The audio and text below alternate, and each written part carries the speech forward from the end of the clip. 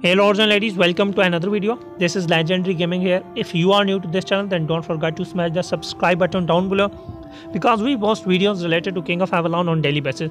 And today we have brought another video for you guys related to this event. And today we are going to talk about that is the $10 are worth spending in this event or not. So here you can see this. We have uh, two kind of boards. One board is related to the normal rewards and other one is for the advanced reward. So let's look at these advanced reward. Here you can see this. They are giving us the destruction ingot of 5 and they are also giving the, uh, 5 more destruction. Ingot here down you can see this.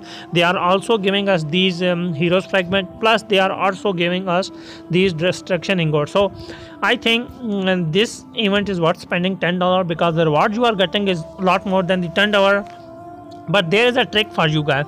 Just don't spend in this event right now. So if you have unlocked all the rewards of those normal board here you can see this here is the board here you can see this. Like these are the uh, level we can see the one two three four this is going down. So if you have unlocked all of these reward in the normal board only then pay these ten dollar to unlock these advanced rewards. In case you don't have uh, like uh, unlock these all reward for example you are at the level 2 in the normal then you don't need to waste your ten dollars.